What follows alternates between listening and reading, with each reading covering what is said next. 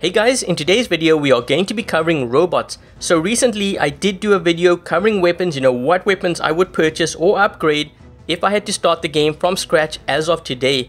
Uh, if you want, you can check out that video. I'll put a link to that in the video description. Uh, this is going to be the robots portion of it now. And I'm going to go through, you know, all the robots in workshop as well as the store because I don't believe everything is listed here.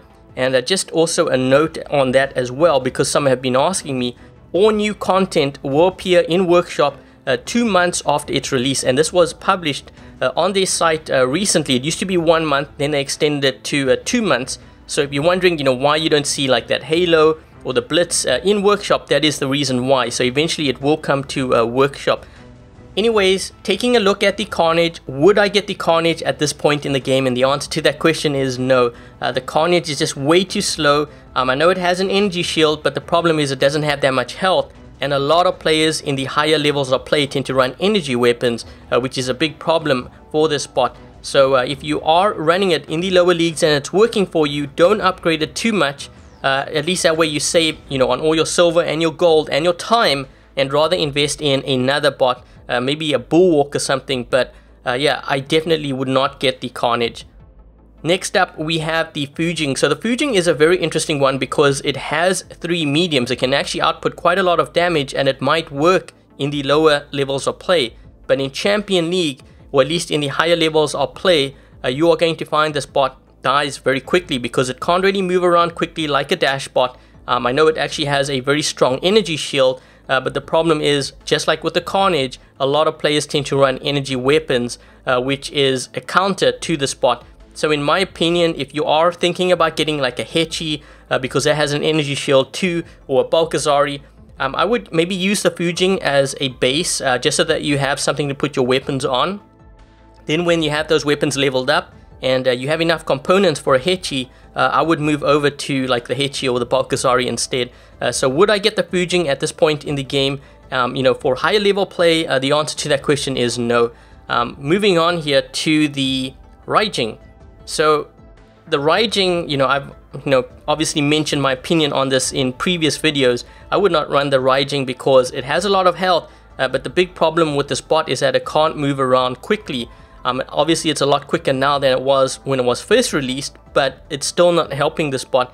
Um, the problem in higher level play is that a lot of players tend to also run splash damage like Orkans and Tulumbas, uh, which is a counter to the spot. So while it might do well on maybe larger maps, uh, you know, it's very map dependent and we're talking about very specific uh, situations here where the spot can do well. Uh, but in my honest opinion, if you plan on uh, obviously playing in the higher levels of play, I would not invest in the Raijin. It might work in the lower levels, but again, don't spend too much of your resources upgrading it because uh, when you get to like Champion League, you are going to find that uh, you will need a different bot. Uh, again, you know, if I had to choose something other than the Raijin, maybe a Bulwark, I think might be a little bit better if you want something tankier, or maybe a Falcon. But uh, yeah, that's my opinion on the Raijin. And uh, the Raven is the other one. So the Raven can be a bit of a tricky bot. Um, you know, I've seen some players use it in Champion League, uh, but in all honesty, it just goes down really, really quickly. It's kind of like the hover. Uh, you know, when you use a double jump, you're out in the open. It's not like you have stealth, um, but you do move a lot quicker, so that can be a bit of a good thing.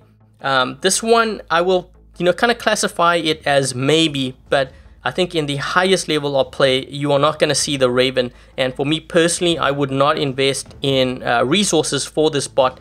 Again, this is just my opinion. Um, it's just something that, you know, through experience and all these uh, top clans, you know, when I play against them, there's no ways that this bot would be able to survive that kind of uh, level of play. Um, so for me personally, I would not uh, invest in the Raven. And uh, moving on, uh, down here we have the Rhino. So the Rhino used to be very strong before, and I actually see quite a few Rhinos, you know, still being used, and with uh, the Halo or some of the shotgun builds, it could actually work. But you know, if we're talking about the highest level of play in this game, uh, for me personally, I would not invest in a Rhino. I think instead, what I would do is maybe invest in something like a Bulgasari if you want that physical shield. Uh, but again, this is just my opinion uh, on this. It might work really well in the lower levels of play, but I would not invest heavily into this bot and rather put it towards uh, something like a Bulgasari instead. Next up, we have the Haechi. So although the Haechi and the Bulgasari did get a slight nerf, it doesn't mean the Haechi is a bad bot. Um, you know, I see a lot of players in Champion League running the Haechi with Orkans, uh, sometimes even Scourge, and they're doing really well with it.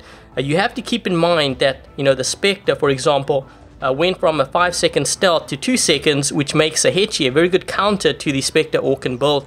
So uh, very deadly, and I think if you are upgrading, you know, weapons on the Fujin, instead of upgrading the Fujin, rather move to the Haechi and upgrade that instead.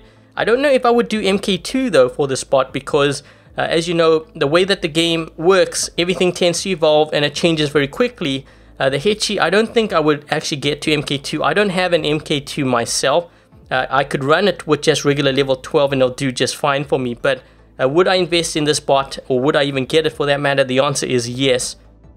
Next up, we have the Kumiho. So the Kumiho did not receive any kind of nerf with the last update, uh, which is a great thing. The only thing is I'm seeing a lot of high level players running, uh, you know, Striders, Pursuers, and Hellburners, which means uh, that's kind of where the game is sort of headed.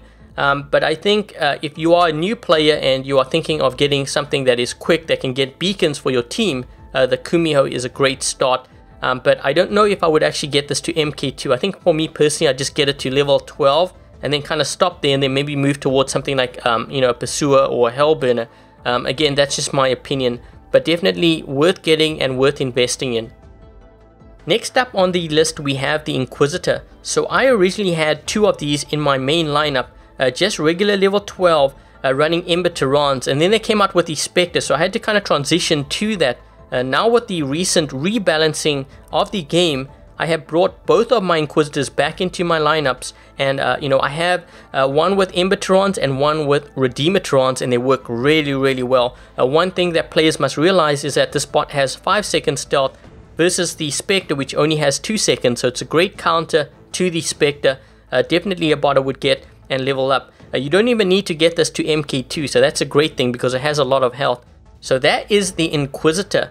Next on the list we have the Mercury. So I'm starting to see more and more players in Champion League run this bot. Uh, what is making it very deadly are the lockdown weapons like Halo and Shredder. If you run that with Exodus or Ember, it can create a very deadly combo. Um, you got to keep in mind too that you have the Helldive ability which also does damage. And something to also point out because a couple of you have asked me on this.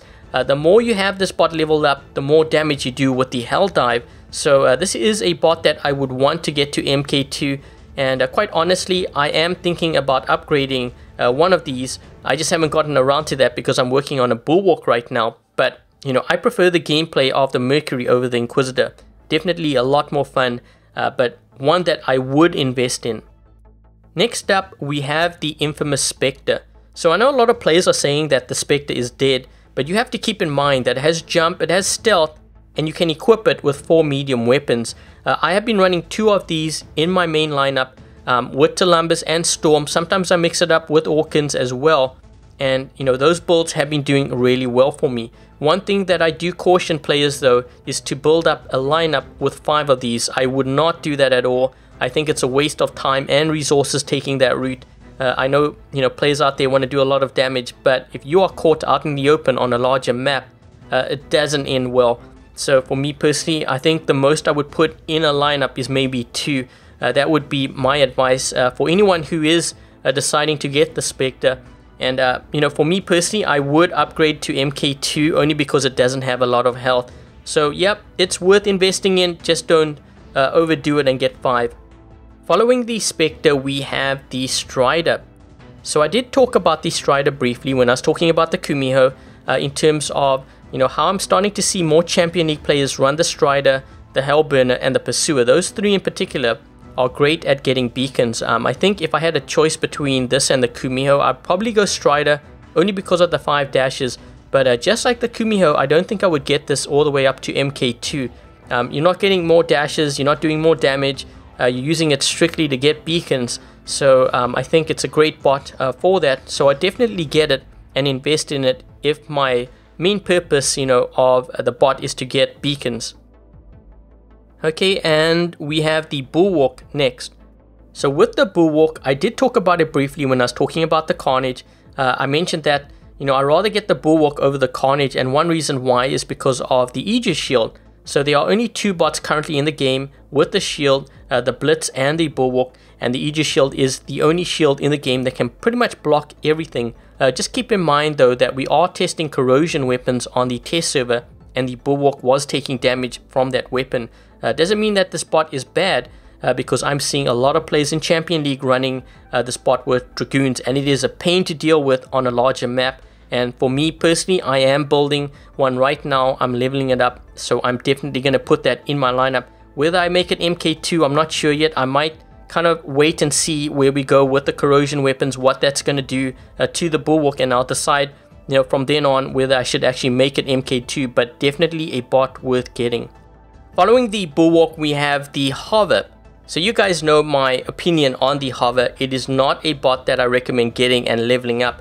Um, it might work in lower level play, but when you get to Champion League, the problem is a lot of players are running energy weapons. Everything from, you know, Flux, Dragoons, uh, Scourge, Spark, Shock Trains, uh, Tarans. All of those weapons do a lot of damage in a very short amount of time.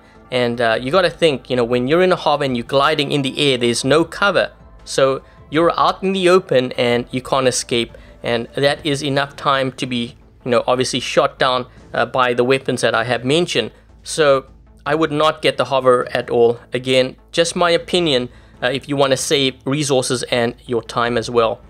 The next robot we are going to be taking a look at is the Hellburner. So many of you know that this is one of my favorite robots in the game right now I'm a great beacon runner and in my opinion it's actually better than the Strider because on um, a larger map it tends to cover ground a lot quicker uh, if you compare it to the Strider. Um, it can do a lot of damage. Uh, anyone who is within 75 meter radius of it when it detonates uh, will take on damage. And the thing with the Hellburner, uh, the more upgraded it is, uh, the more damage it does. So you want to level this up. And uh, definitely a robot that I would get, I think, in the current meta. Okay, so moving on, we have the Pursuer. So after changes were made to uh, the Spectre, I started seeing a lot of Pursuers out there uh, because of the 10 second stealth. So uh, I think this spot is definitely one worth getting and uh, worth upgrading in terms of you know what builds I would run on here you know the Halo uh, the Gust or a combination of that I'm seeing a lot of that out there and uh, one that I think is definitely worth getting and upgrading at this point in the game. Next on our list we have the Weyland. So the Weyland is in a very strange spot in the game right now. Uh, the reason why I say that is because uh, when we had random game modes and we couldn't choose the game mode we wanted, uh, the Weyland would actually do really well on TDM. But the problem is, if you like Beacon Rush now, you're not going to be selecting TDM, uh, so you don't really need the Weyland. However, I'm keeping an eye on this bot because uh, with the corrosion weapons, there are only two bots in the game that can heal themselves, and that is the uh, Mender and the Weyland.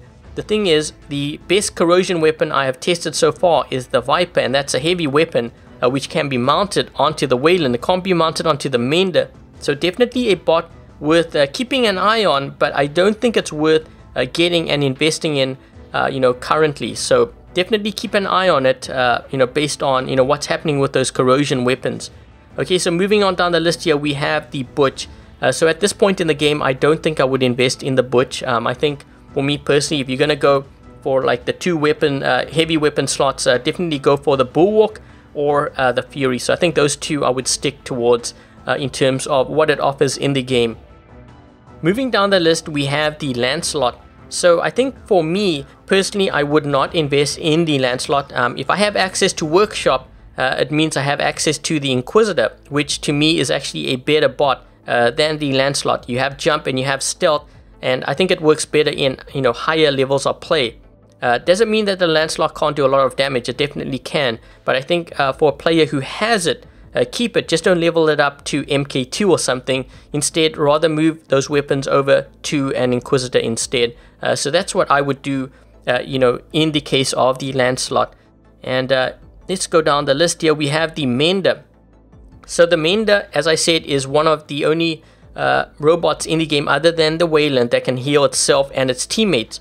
Uh, if you're looking at the corrosion weapons, uh, this might be a robot worth considering uh, just to prepare yourself uh, for those corrosion weapons.